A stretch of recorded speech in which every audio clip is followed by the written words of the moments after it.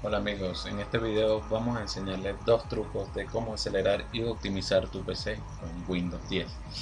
Bien, lo primero que debemos hacer es ir a equipos, vamos disco local C, clic derecho, vamos propiedades. En propiedades vamos a darle a liberar espacio. Bien, hay que dejar las casillas que están marcadas y solamente marcar la que dice papelera de reciclaje y los archivos temporales. Bien y le damos a aceptar.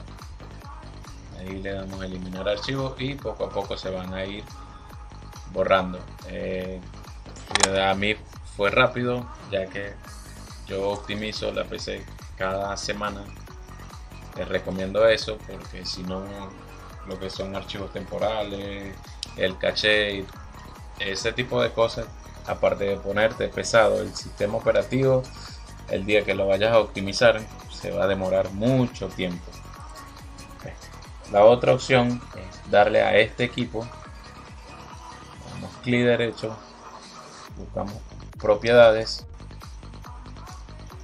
configuración avanzada del sistema, le damos a configuración, acá le va a aparecer a ustedes en la primera casilla dice dejar que Windows elija la configuración más adecuada para el equipo. Aquí le vamos a dar a ajustar para obtener el mejor rendimiento y le damos a aceptar.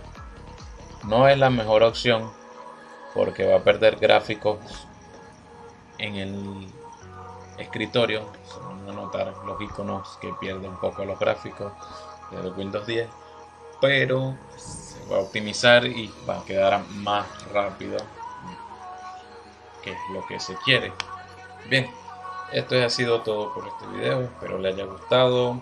No olviden suscribirse y darle la campanita para que estén pendientes y vean todos los videos que vayamos subiendo a medida de esta semana y los próximos.